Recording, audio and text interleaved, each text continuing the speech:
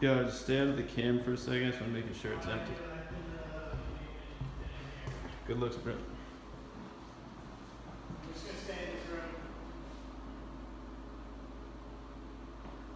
stay in this room. You're mad buddy.